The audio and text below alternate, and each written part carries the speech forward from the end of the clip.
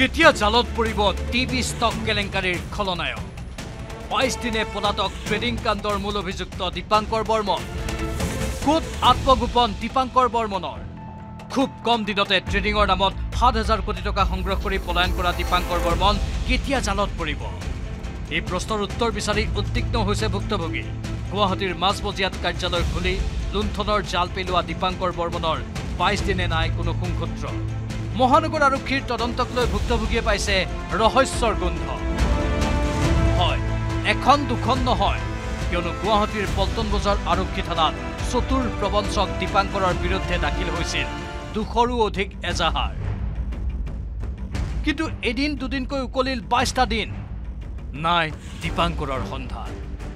গুৱাহাটীৰ মাজমজিয়াতে আনকি মাটি ফুটি উদ্ধাৰ হৈছিল প্ৰবঞ্চকটোৰ বিলাসী স্কৰ্পিঅ' বাহন। পিছে নাই আজিলৈ স্মাৰ্ট আৰক্ষীয়ে উদ্ধাৰ কৰিব নোৱাৰিলে গুৱাহাটী ক্লাব এলেকাৰ চি চি টিভি ভিজুৱেল। সম্প্ৰতি দীপাংকৰৰ প্ৰেমিকা মনালিছা দাস কেন্দ্ৰীয় কাৰাগাৰৰ আলহী। বিয়াগুম জালিয়াতিৰ নিয়ম মাফিক তদন্ত আৰু আৰক্ষীৰ সোপাধিলা ব্যৱস্থাৰ বাবেই দীৰ্ঘদিনে আত্মগোপন কৰাৰ সুযোগ লাভ কৰিছে দীপাংকৰ বৰ্মনে। আৰক্ষীক আৰু কিমান দিন লাগিব বতাহত মিলি যোৱা ধুৰন্ধৰ দীপাংকৰক বিচাৰি উলিয়াবলৈ।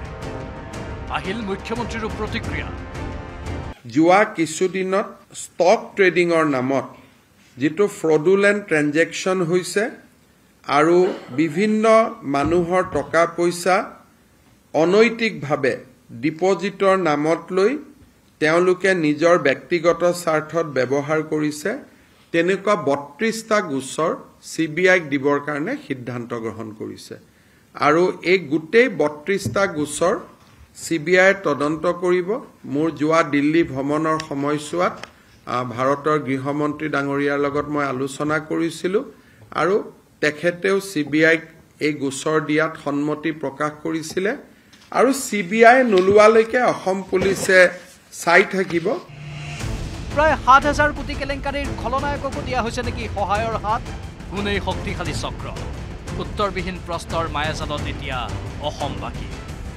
গুৱাহাটীৰ পৰা Dipankar Das news eighteen Assam north east.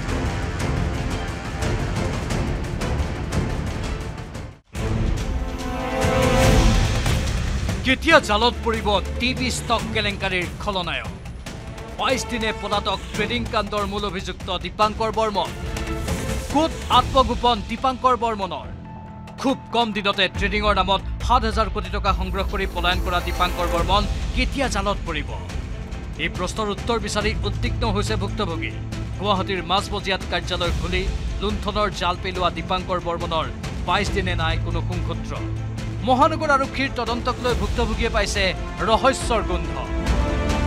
হয় এখন দুখন নহয় কিয়নো গুৱাহাটীৰ পল্টন বজাৰ আৰক্ষী থানাত চতুৰ প্ৰবঞ্চক দীপাংকৰৰ বিৰুদ্ধে দাখিল হৈছিল দুশৰো অধিক এজাহাৰ।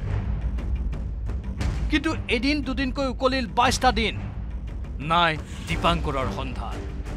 গুৱাহাটীৰ মাজমজিয়াতে আনকি মাটি ফুটি উদ্ধাৰ হৈছিল প্ৰবঞ্চকটোৰ বিলাসী স্কৰ্পিঅ' বাহন।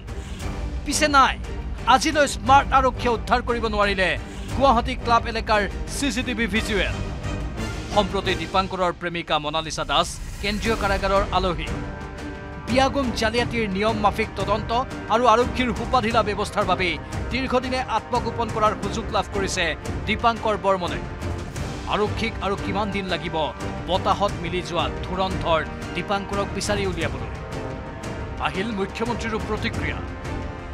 যোৱা কিছুদিনত ষ্টক ট্ৰেডিঙৰ নামত যিটো ফ্ৰডুলেণ্ট ট্ৰেঞ্জেকশ্যন হৈছে আৰু বিভিন্ন মানুহৰ টকা পইচা অনৈতিকভাৱে ডিপজিটৰ নামত লৈ তেওঁলোকে নিজৰ ব্যক্তিগত স্বাৰ্থত ব্যৱহাৰ কৰিছে তেনেকুৱা বত্ৰিশটা গোচৰ চি বি আইক দিবৰ কাৰণে সিদ্ধান্ত গ্ৰহণ কৰিছে। আৰু এই গোটেই বত্ৰিশটা গোচৰ চি বি আইয়ে তদন্ত কৰিব। মোৰ যোৱা দিল্লী ভ্ৰমণৰ সময়ছোৱাত ভাৰতৰ গৃহমন্ত্ৰী ডাঙৰীয়াৰ লগত মই আলোচনা কৰিছিলোঁ আৰু তেখেতেও চি বি আইক এই গোচৰ দিয়াত সন্মতি প্ৰকাশ কৰিছিলে। আৰু চি বি আই নোলোৱালৈকে অসম পুলিচে চাই থাকিব। প্ৰায় সাত হাজাৰ কোটি কেলেংকাৰীৰ খলনায়ককো দিয়া হৈছে নেকি সহায়ৰ হাত? কোনেই শক্তিশালী চক্ৰ? উত্তৰবিহীন প্ৰশ্নৰ মায়াজালত এতিয়া অসমবাসী গুৱাহাটীৰ পৰা Dipankar Das news eighteen Assam north east.